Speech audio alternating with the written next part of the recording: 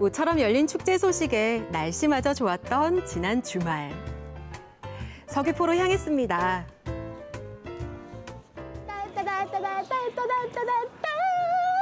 여러분 제가 왜 이렇게 설레는지 아세요? 아니 이게 얼마만이에요 서귀포에서 70리 축제가 열렸다고 해서 제가 바로 달려왔거든요 지금 리허설이 한창인 것 같거든요 살짝 보러 가볼까요? 와 이게 얼마만이야 진짜 서귀포 70리 축제 하면 주민들이 함께하는 퍼레이드로 유명하죠. 아쉽지만 올해엔 규모가 축소되면서 그 모습을 볼 수 없는데요.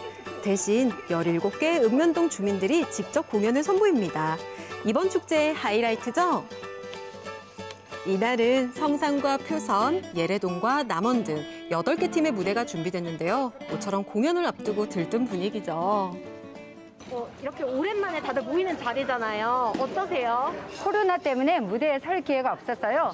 그래서 오늘 이 무대가 저희한테는 진짜 생애 처음으로 기분 좋은 날이 될 것 같아요. 위드 코로나지만 방역이 무엇보다 중요하죠. 열 체크와 손 소독을 완료해야 입장이 가능한데요.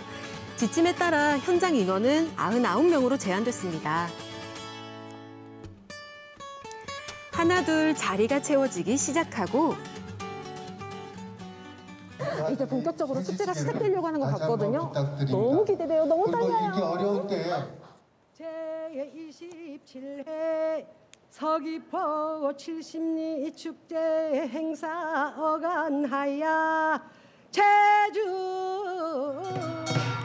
예술 한마당에 포문을 연 건 성산읍입니다.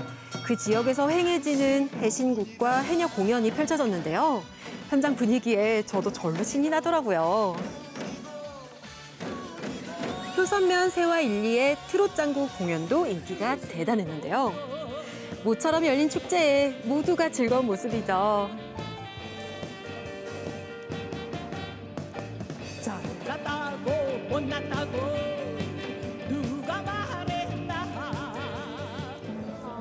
때문에 이런 축제 자체가 너무 오랜만에 열려서 일단 이렇게 열린 것만으로도 너무 좋았고 온라인 오프라인을 병행하니까 더 안전하게 운행할 수 있을 것 같아서 굉장히 좋습니다.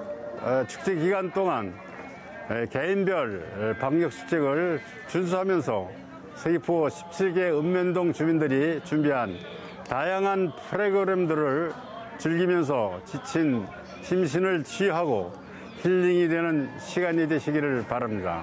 축제 너무 신나게 즐기다 보니까요. 아, 벌써 출출해졌어요. 아 축제하면 또 사실 먹거리잖아요. 아, 여기 어디 먹거리 장터가 없을까요? 저기 가서 한번 물어볼게요. 음... 선생님 안녕하세요. 아니 이제 축제를 즐기다 보니까요. 출출해졌어요. 축제하면 먹거리잖아요. 어, 먹거리 장터가 어디 없을까요? 먹거리는 준비하지 못했지만 특별한 전시회를 준비했습니다. 특별한 전시회예요?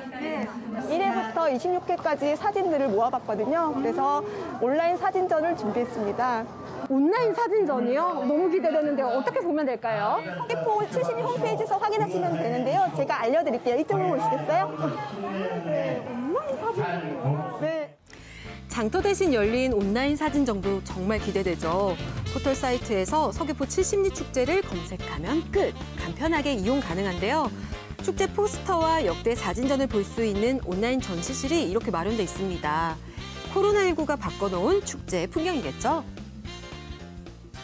맞아요. 예전에는 축제가 이렇게 열렸었잖아요. 마- 정말 다양한 행사들이 많이 있었고 굉장히 크게 서귀포 시민들이 많이 참여했었습니다.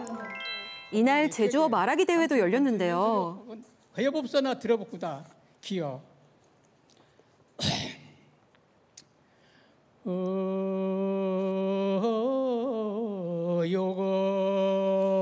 요검질 리영나여 아 경원디 제주 토박이 어르신부터 제주에 정착한 이주민까지 다들 실력이 쟁쟁하더라고요. 성님은 이디 온 지 얼마나 됐을까? 난 혼 6년 되신가?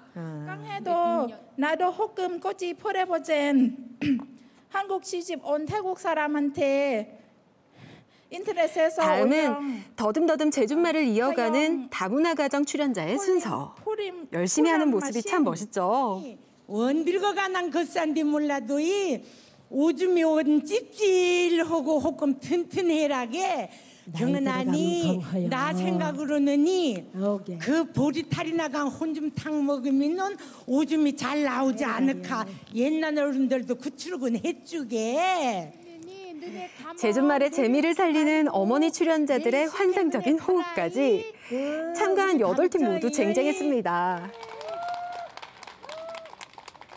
드디어 경연이 끝나고 결과만을 발표할 시간.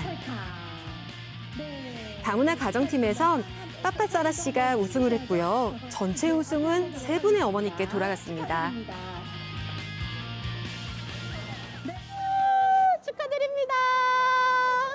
오랜만에 이런 행사가 열렸잖아요. 그런데 수상까지 하셨어요. 네, 소감이 남다르실 것 같은데요.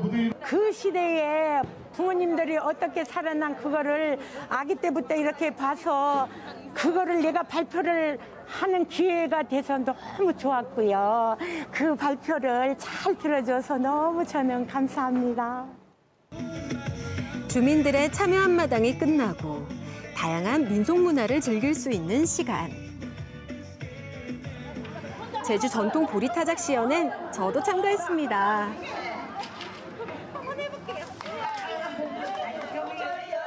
벌써 내년 축제가 기대되는데요. 17개 읍면동이 함께하는 거리 퍼레이드를 다시 준비할 계획인데요.